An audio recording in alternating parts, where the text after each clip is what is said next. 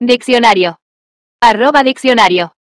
Convertir, se refiere a la acción de transformar o cambiar algo de una forma, estado o función a otra.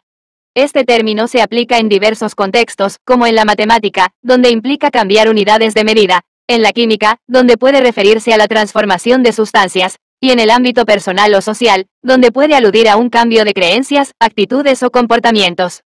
Convertir implica un proceso de adaptación y, en muchos casos, la necesidad de esfuerzo y deliberación para alcanzar un nuevo estado o condición.